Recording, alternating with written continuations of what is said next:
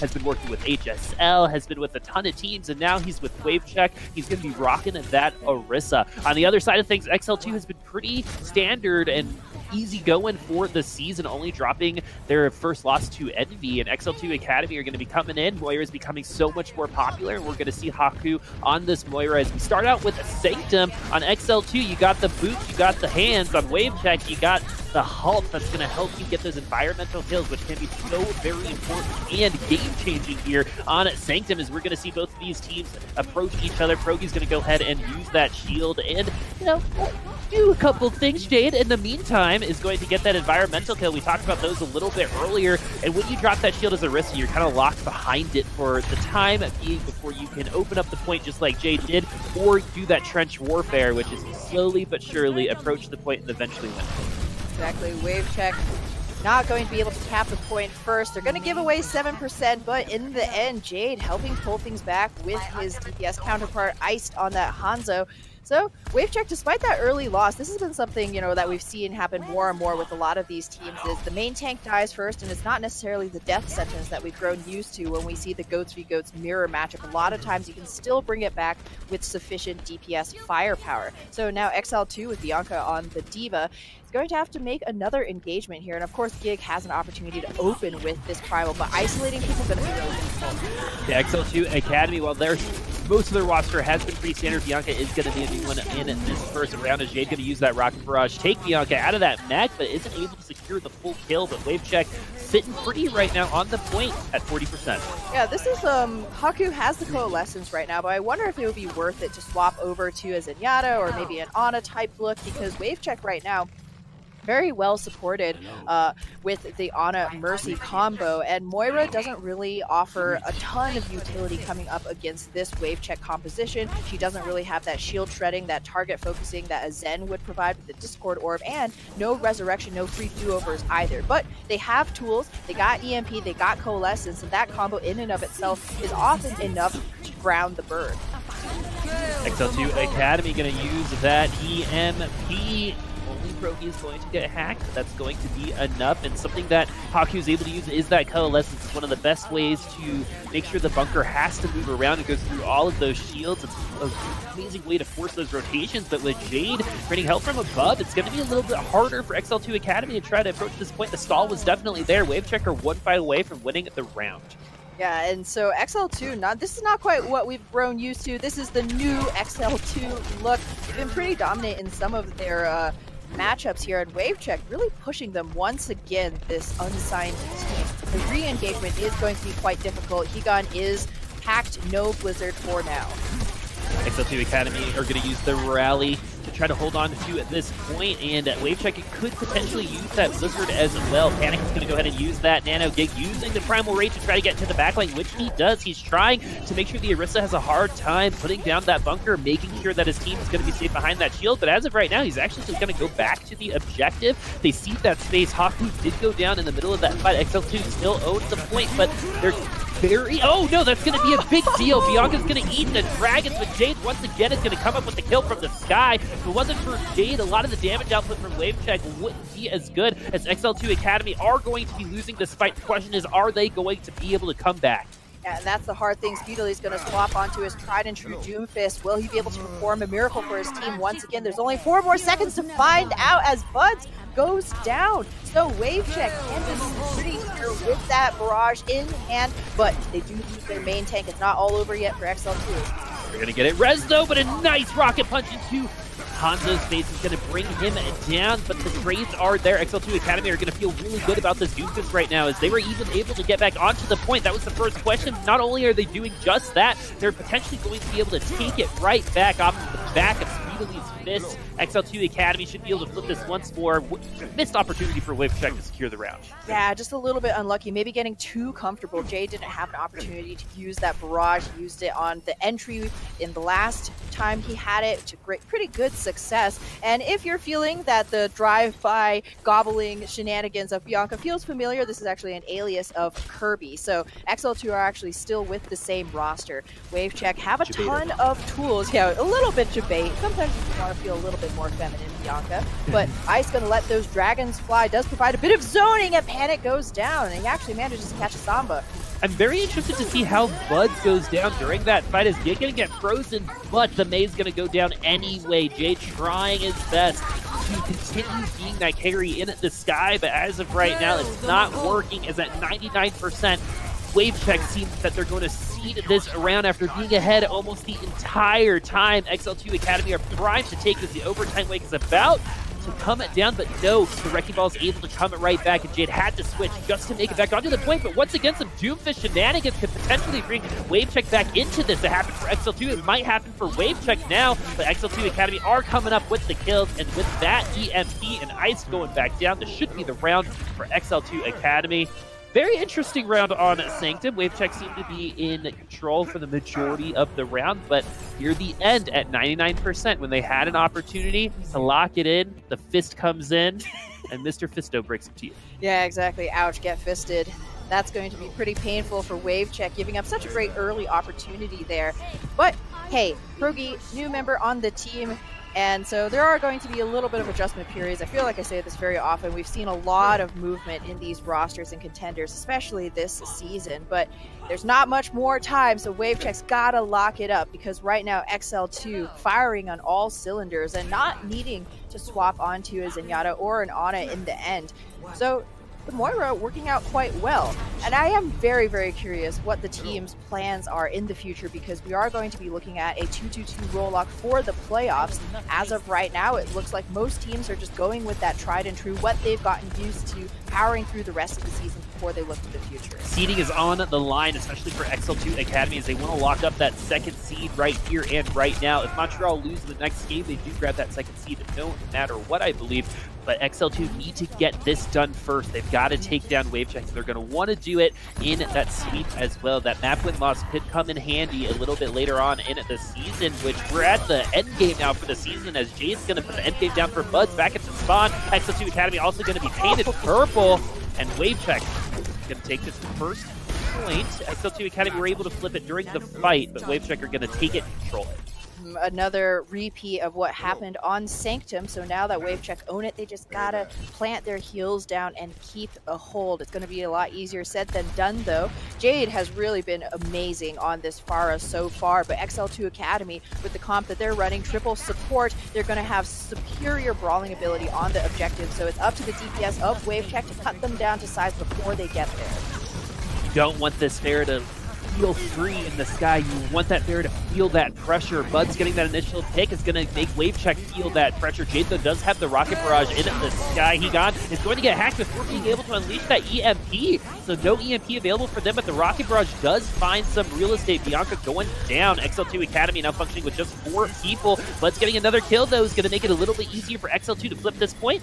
That, after cleaning up this Wrecking Ball, should be what comes next. XL2 now going to look at some pretty comfortable couple of next fights with the ultimates that they have ready. Well prepared, no Break Depression heading their way. Rally, EMP, and Primal all online for XL2. And Wave Check, running with the heavier DPS lineup, does need to get those heroes in position before they can launch their attack, which has been the difficulty for many teams swapping over to more DPS-centric comps. There's no guarantee of a team fight, so Panic's just to nano him. Yeah, Jade's going to get that nano. Progi going to get that kill. And I think what happens there is there's a nano in the sky. Everyone looks up, but then there's a wrecking ball on the ground as well, able to confirm that kill. Jade's going to get another one. Jade's got a, a lot of notches right now under his belt, getting a ton of kills throughout these last two rounds. He needs someone else from Wavecheck to follow him up with these kills. Iced is going to be the one who could do that for him, but as of right now, it's just been all Jade this whole time for wave check, and it's not been enough for them to keep these points. Yeah, all the DPS need to be confirming those kills, finding a lot of value from those heroes because that's half your team invested in those characters and just RIP. Uh, watching the Mercy drift off the side of the map is just so sad without her anchor. And Jade has been performing amazingly. You can see how much resource Wave Check puts behind his Pharah and Nano and one-shots kills squishies. But even so, one great player does not a team make Egon. Gonna try to be that second. EMP goes through both ways. Three for XL2, two for Wave Check.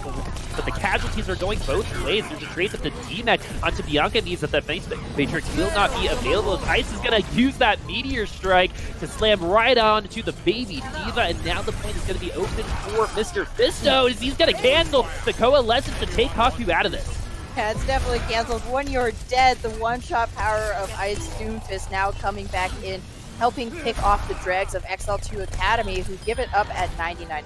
This is what we were talking about, right? Jade's doing the work, continue to do the work, and now he's got the Doomfist working behind him as well. Wave check now have their two DPS online, and you're seeing they're in control right now. This is going to come down to one fight and one fight only. Wave check now. They don't have the EMP opener that Buds does have, but... Oh, amazing hack coming in from XL2. Buds a hero, friend. Wave check gonna fall victim to the EMP. They're so focused on this possible big barrage combo, but no, he's gonna get hacked out of it instead, and XL2 Academy are gonna maintain their advantage throughout this fight, and once again, Wave Check are gonna exceed 90% and lose the round. They do everything to barely lose these maps. It's been a common pattern throughout their entire time, other than last week here in contenders. And even though they've been fallen victim to some 4 0 scorelines, a lot of these maps, just like this one, were pretty close. Mm-hmm. XL2 Academy do take the round 2 0, but both teams making it to at least 90% on both rounds as we see Gig here opening things up on Sanctum and Jade arguably, in my opinion, the best player on the field right now. Oh, I, I would certainly say so. Definitely standing above the rest, you know, with the help of those But boosters. his team just lost the map. Can you walk us through what exactly to happen? Yes, the ice could have been coming in. It could have been doing a little bit more on the ground game as Jade was doing such a great job in the air. But how does Jade do so well, get so many kills that in the end his team loses? Well, the it really just comes down to math and statistics. WaveCheck have one producer and XL2 have multiple options, right? So you saw Jade's opening barrage right there on Sanctum when WaveCheck tried that same trick on Village. XL2 is like, barrage me once, shame on me, barrage me a second time. Well, you're not gonna because you're hacked and now you're dead. So XL2 Academy playing the little bit less flashy but much more consistent composition with that Moira Sombra Goats composition.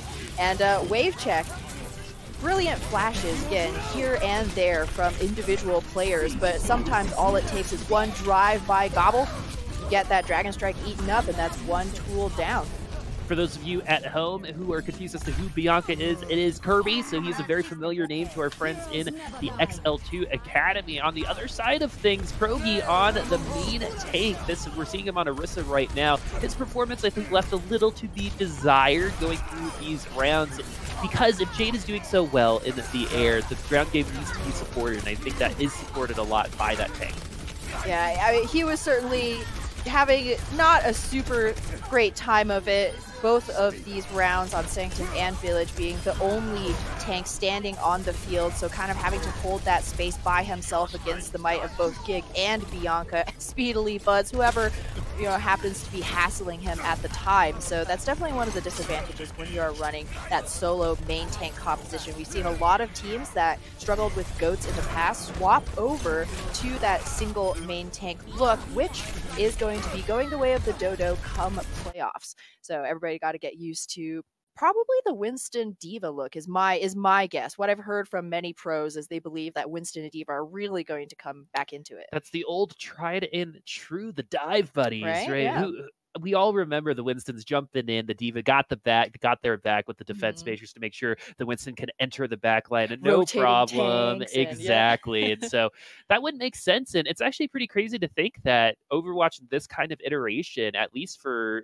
for the foreseeable future, is going to not look like this. What right, we're seeing so right now, it's going to be a very defined type of experience. I think coming into the playoffs, we might see some new things, we might see some familiar things, but the triple DPS, the quad quad tank, all that will not be av- available going into the playoffs. Oh, EU's crying a tear. I know right now, no more quad tank. But I'm actually really curious uh, how map dependent those tank duos, support duos, and DPS duos will be because you think about a map like Paris right here, and while Winston and D.Va are very strong on many maps, Orisa Hog is the tank duo that comes to mind here on Paris, and XL2 Academy showing half of that right now. They have Buds on on the Mei once again, speedily on the Junkrat. It's going to be Gig holding down the fort with the Orisa with KSP on the Widowmaker. Excited to see Buds on this Mei. We see him a lot on the Sombra, so when he gets the flex onto some other characters, it's really nice to see. XL2 Academy was the first team, really, to start running you know, three DPS with your D.Va player being the most flexible person. Buds coming in, playing a little bit of D.Va, but mostly repping the Mei and the Sombra. Uh, Skyfox is very well known for doing that right now as well, at least for the beginning part of the season. And it seems to be the way that things are going as KSP is going to get his headshot on the Widowmaker. And now Wave Checker either going to have to invest a res. That they do. And now the real stuff begins here for Wave Check because all kills are confirmed from XL2 for the next 30 seconds. Ooh. And KSP is going to find another one. That is a 6v5. It's funny, the way that Yvette's talked about this a little earlier was pretty was pretty great. It's just kind of like peek until you get the kill, and then the res comes through, then the kill comes out, then you reset. It's pretty simple when it comes when you think about it like that. I mean, remember back when Mercy was in every mm. single composition and all those initial opening kills were res, and Higan though gonna pick up one, so OG gonna have to flex that capability or not as Wave Check moving forward to try and cover that body. Ooh, the Junkrat putting himself in a little bit of a vulnerable position by blasting himself upwards, which he is going to land safely. He is going to push Higan out as well. KSP has those wall hacks, had those wall hacks, so they had a ton of information on Wave Check, but now could be an opportunity for Wave Check to try to find a pick. Jake getting close to that Rocket Barrage. Haku also very low. The Nano, though, is available for him. That's going to be a nice tempo increase as Gig is going to get the Nano. He's going to try to take some space as the Junkrat's so very low, but he's getting walked on that leash by the Mercies. OG's going to use the Valkyrie to keep XL2 in this fight. They have moved it off of the kiosk and onto the objective. They actually seem to be a little spread out. This is really bad news for XL2 Academy as the Orisa was on the objective and two people were here by kiosk, but the playmaking ability of XL2 is starting to show right now. Haku, one of the fraggiest of the supports that we have in this group, does find a pick. That's oh. two on oh. each side. Is KSP going to bring the numbers advantage to him? And look at that movement. That was pretty KSP. Man alive. No, if that shield wasn't there, KSP was about to pull a Logix and take this whole point back for his team single-handedly.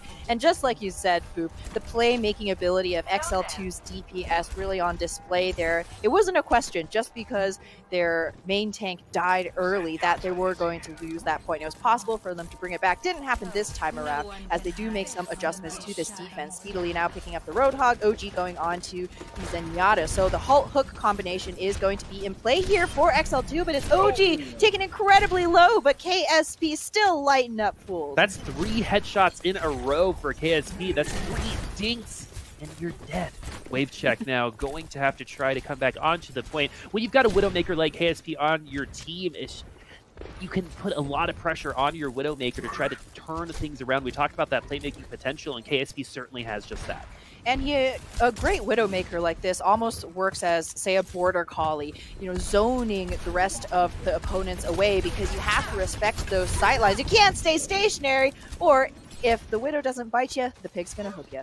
I believe that was a Halt Hook combo coming in, helping speedily out on that hook. So XL2 Academy will continue with that numbers advantage. They're not going to go ahead and invest any reses in that. Why would you at this point in time as we do see Wave Check coming up on some ultimates. The Rocket Barrage has been held for a while. And in this situation, I know the objective proper is pretty open. So he's going to be pretty vulnerable to whatever damage comes his way.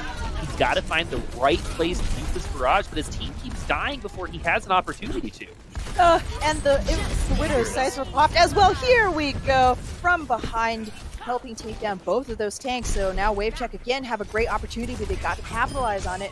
Some beautiful movement coming in from Jade. That's two directs taking the Zenyatta out, and the Ana's going to be a little bit more difficult. Some good movement from him as well. XL2 Academy so very low. Wave Checker on the brink of potentially owning this objective going to go ahead and use the Valkyrie to keep everyone alive. Gig's going to have to play around his shield a little bit better than that to survive as Jade is going to continue his dominance in at the air. Without that hook, it would have been all Jade the whole time, but now the rest of Wave Check needs to do a little bit extra work as XL2 Academy have been felt here on this point. Wave check do take it in at the end. Too many casualties for XL2 to try to make any break for it for the objective.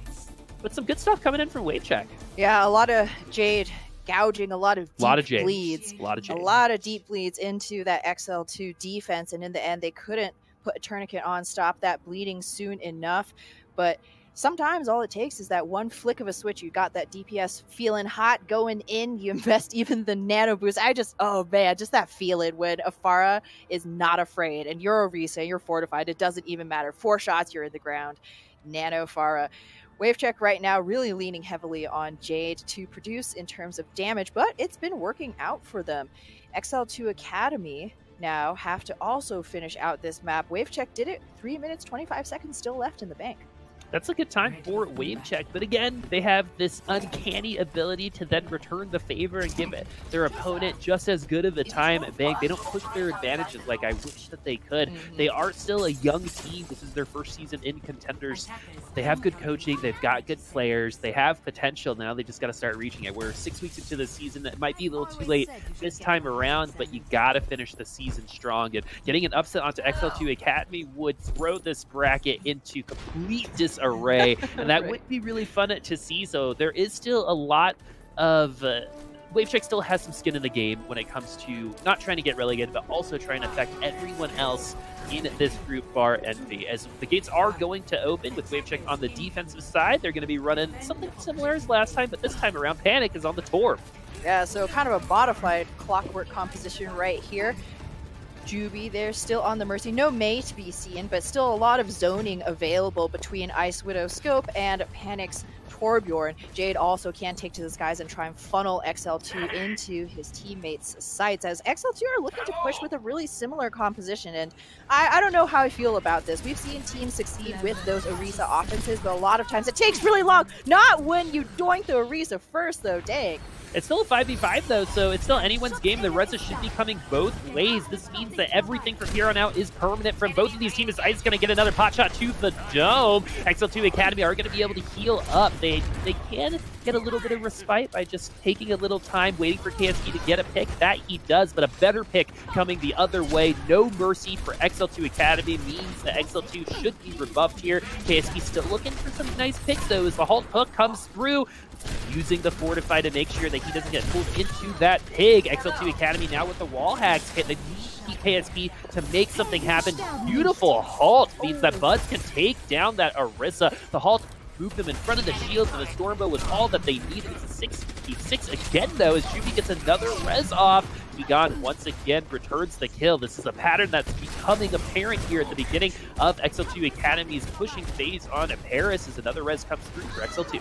Yeah, oh, though this kill is going to likely be permanent. Juby popping that Valkyrie almost preemptively when they lost Progi the first time around. And now XL2 can make it pretty easy walk onto the point. They've got to dance around these various DPS, and the Hog left on the point, but not going to be anything for Bud's Storm Arrow. And so the way that XL2 approached this point, very methodical, very consistent. A lot of times teams have difficulty pushing in with Orisa because her progress forward is very piecemeal. You got to drop the shield, make a step forward, drop the shield, make it take another step forward, and all the while you can't be losing any backline, and your DPS have to be finding those kills.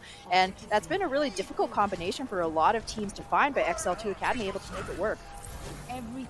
They're all going to go ahead and switch over to the tried and true as well. It doesn't matter if you have ultimates. A lot of those characters don't function as well on the second point as they do on the first. I like what XL2 do. Wavecheck actually did a little bit of the opposite last time around. They had some ultimates, so they ran their comp into B instead of changing and ended up working out for them. So both ways can work, but I think what XL2 did is a little bit more consistent coming into the second point here as Gig is back on his tried and true, that Reinhardt that he's so very well known for. Wavecheck now does have that Rocket Barrage, so whenever XL2 decides to come onto the objective, they have to worry about the Pharah in the air.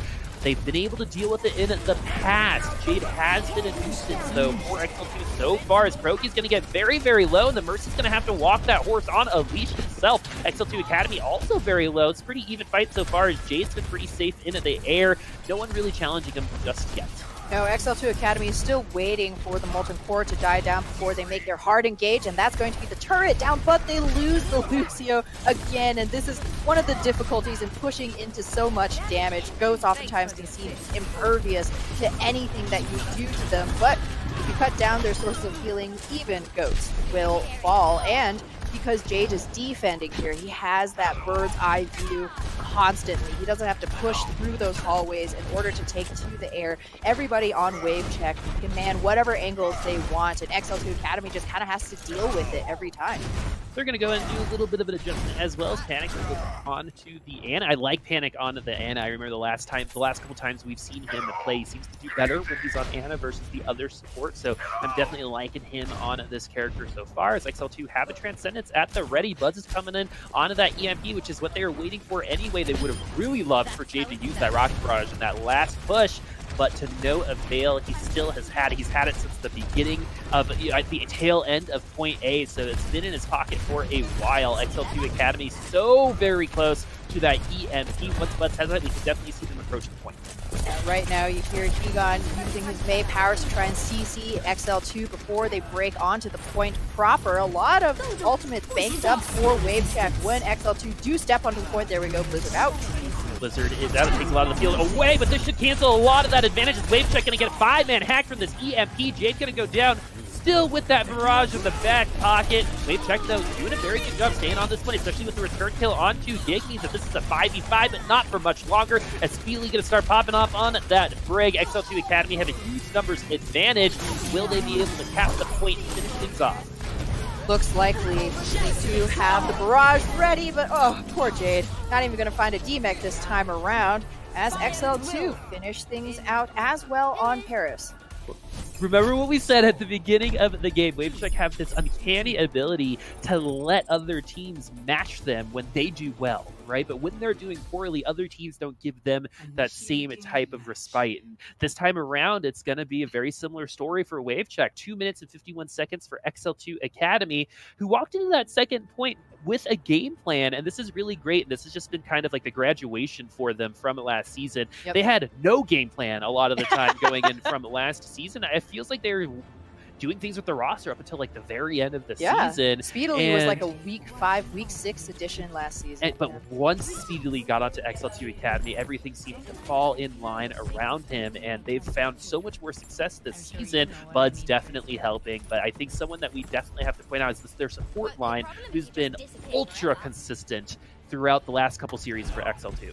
Uh, Haku's been particularly impressive on the Ana, not not as much of a standout on the Zenyatta, but still doing what his team needs, especially as things have shifted over to the more Ana-centric favored uh, compositions.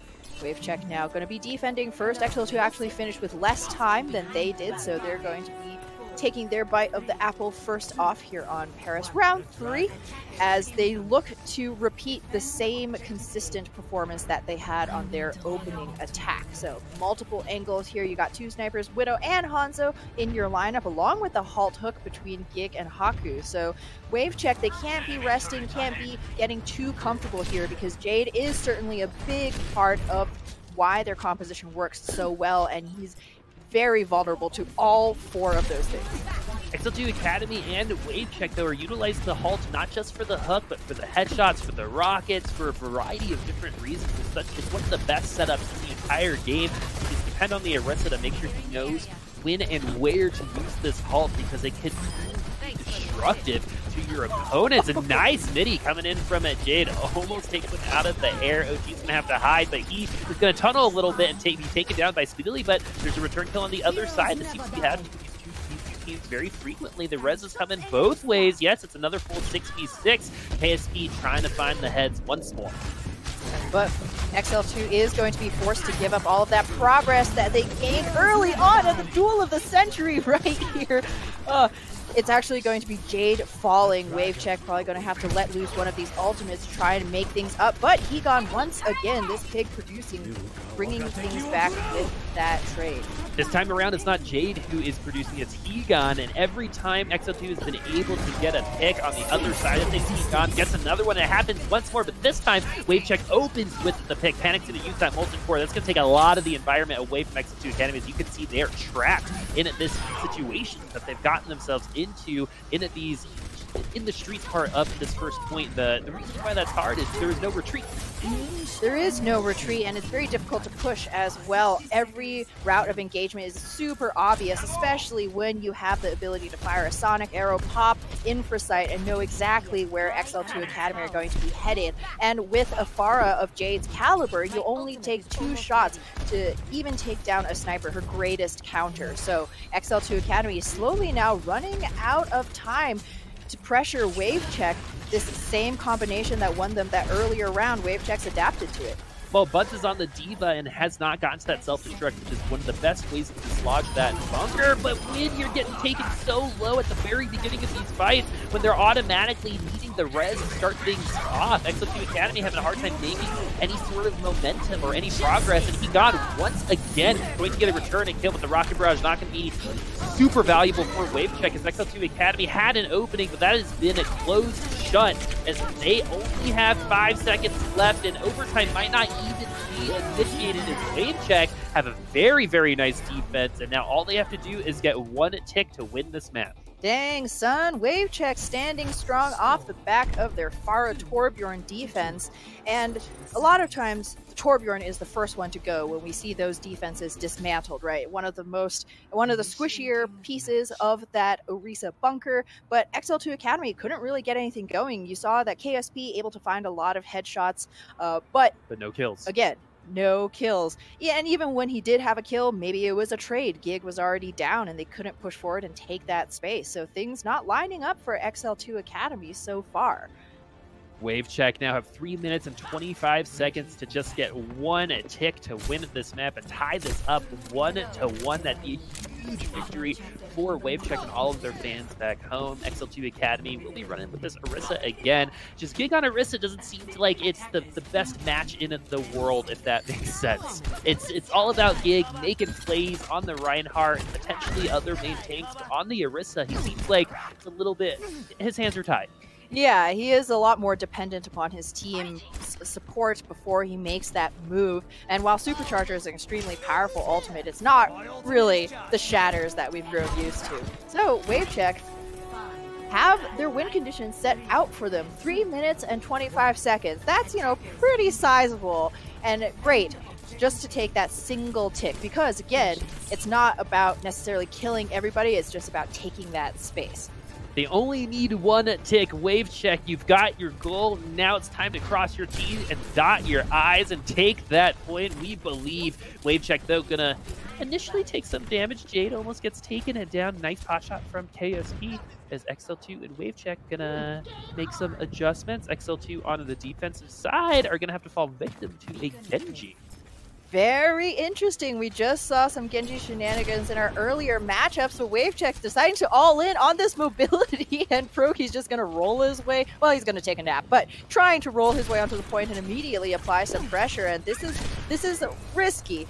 Anytime we start seeing a team change up their winning combinations, you got to be like, if it ain't broke, why are you trying to fix it? But with the composition that Wavecheck are running, they only need a single combo to go off to wipe the point. It could be EMP into Blade, EMP into Dragon Blade, Nano Blade, always a really good option too. Again, a lot of pressure on Jade, but he seems to be thriving on it right now. I mean, at 19% thriving might be a little might be a little much. As I say it, they lose their support line, right? Yeah, yeah. yeah. Still at 20%. I think that's mostly passive at that moment in time. So He's thriving by not dying, and in the world of Genji, hey, you could argue that is thriving. That's more than I can say for my Genji. That is very true. I'm barely XL, surviving. It's so. true. XL2, not just Genji. XL2 Academy now also have the wall hacks. That's going to really help versus what Wavecheck is running because the Sombra, the Wrecking Ball, and the Genji can go on their own flanking path with these wall hacks. They'll know exactly where they're coming from, and now they know how to defend against the res if they're able to get it on a gig. It's pretty important that they do because they need this 6v6 on the objective because they only have one tick to give, but Wave Check choosing to wait a little while longer. I so close to the EMP, it's going to be a lot easier for them to take it once that EMP comes through. But no, he's going to die. Bud takes it down. Yeah, this this can't happen. Wave Check, you were so incredibly close. You took down Gig, forced him onto the Desperation Hammond just to get back in time. However, they have drawn the the tire out from Speedily, but now they've lost another piece of the puzzle. Genji is down, and so very squishy composition Wavecheck is running right. You're really curious why Progi's on the Hammond rather than a more traditional Winston who can take space and provide a bit of protection with that Winston bubble, because Wavecheck have wiled away three minutes of their time. This is their last shot. This has to go off without a hitch. EMP into Nanoblade. They got all the pieces. Now they got to put them together and make a nice puzzle. Wave check will use the EMP. They've got all of their ultimates on the other side, though. A self-destruct could change absolutely everything. But I would say they're probably lull them into the false confidence. They have to get the self-destruct off, but no, this Dragon Blade is going to be absolutely huge for Wave Check. They're so close to getting this pick, and Bud does get the self-destruct off. Speedily gets a kill. Speedily gets a oh, second kill. This isn't over just yet. It's XL2 Academy are coming back on the point, and Speedily gets a third kill. Let's see if it's going to be enough. He's almost at another tire. No one is on the oh, point. And that means Wave Check wins speedily.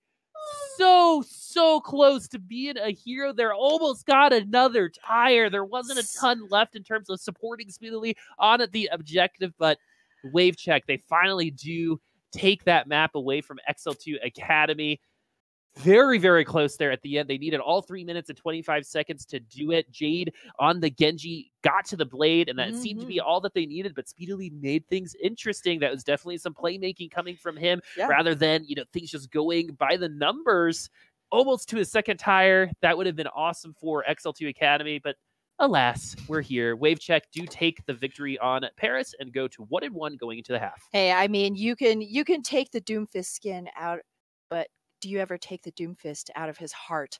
Again, really, just I really great carry plays from Speedily. Unfortunately, not really living up to his name and getting some of his butt on the point. But hey, you can't do it all.